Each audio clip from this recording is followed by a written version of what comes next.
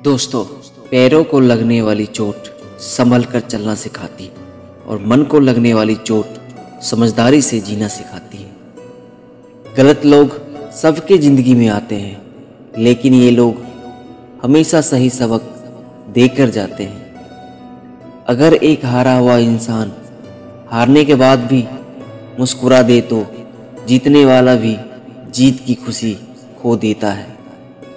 ज़िंदगी ऐसे जियो कि अगर कोई आपकी बुराई भी करे तो दूसरा उस पर विश्वास ना करे। पतझर हुए बिना पेड़ों पर नए पत्ते नहीं आते। उसी तरह कठिनाई और संघर्ष सहे बिना अच्छे दिन नहीं आते। दुनिया की सबसे सस्ती चीज़ है सलाह। एक से मांगो, हज़ारों से मिलती है। आशावादी आदमी हर आपदा में एक अवसर देखता है और एक निराशावादी आदमी हर अवसर में एक आपदा देखता है।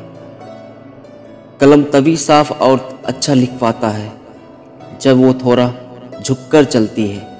वही हाल ज़िंदगी में इंसान का है। तुम्हारी ज़िंदगी में होने वाले हर चीज़ के जिम्मेदार तुम हो। इस बात को जितनी जल्दी मान लोगे, ज़िंदगी उतनी बेहतर हो जाएगी। मंजिलें बहुत है। और अफसाने भी बहुत है। ज़िंदगी की राह में इम्तिहान भी बहुत है। मत करो दुख उसका, जो कभी मिला नहीं दुनिया में। खुश रहने के बहाने भी बहुत है। खामोश रहना किसी इंसान की कमज़ोरी नहीं, उसका बड़प्पन होता है। वरना जिसको सहना आता है, उसको कहना भी आता है। जो मुस्कुरा रहा है, उसे दर्द ने पाला होगा। जो चल रहा है उसके पाँव में छाला होगा। बिना संघर्ष के इंसान चमक नहीं सकता। जो जलेगा, उसी दिए में उजाला होगा। समझनी है तो पीछे देखो। जीनी है, ज़िंदगी तो आगे देखो। आप कुछ भी करें, कोई मायने नहीं रखता। लेकिन आप उसे किस मन से कर रहे हैं, ये बहुत मायने रखता है।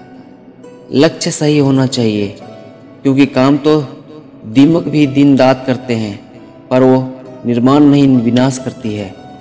रोटी से विचित्र कुछ भी नहीं, इंसान पाने के लिए भी दौड़ता है और पचाने के लिए भी। अपना आनंद चाहे किसी के साथ भी बांट लो, लेकिन अपने दुखों को किसी भरोसेमंद के साथ ही बांटना चाहिए। एक समय में एक काम करो और ऐसा करते समय अपनी पूरी आत्मा उसमें डाल दो और बाकी सब परमात्मा पर छोड़ दो। लोग बुरे नहीं होते, बस जब आपके मतलब के नहीं होते तो बुरे लगने लगते हैं। दर्द सबके एक है, मगर हौसले सबके अलग अलग है। कोई हताश होके बिखर गया तो कोई संघर्ष करके निखर गया। सच एक सर्जरी की तरह है, थोड़ा दर्द देता है, लेकिन राहत मिलती है। झूठ एक पेन किलर की तरह है। जो आपको अस्थायी राहत ज़रूर देता है, लेकिन साइड इफ़ेक्ट जीवन भर के होते हैं। ज़िंदगी मिलना किस्मत की बात है, मौत आना वक्त की बात है, लेकिन मरने के बाद भी लोगों के दिलों में ज़िंदा रहना, ये तो कर्मों की बात है।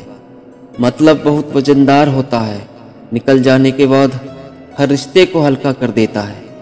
निंदा से घबरा कर लक्ष्य पर न छोड़ो। लक्ष्य मिलते ही निंदा करने वालों की राय बदल जाती है, तकदीर बदल जाती है। जब इरादे मज़बूत हो, हर चट्टान टूट जाती है।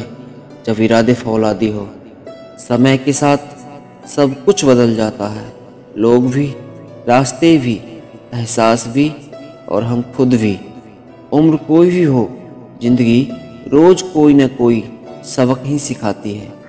अगर लड़ना ही है तो अपने गलत आदतों से लड़ो, जो किसी को अपना होने ही नहीं देता।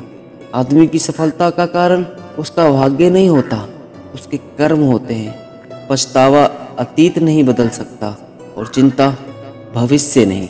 बहुत मज़बूत हो जाते हैं वो लोग जिनके पास होने को कुछ नहीं होता।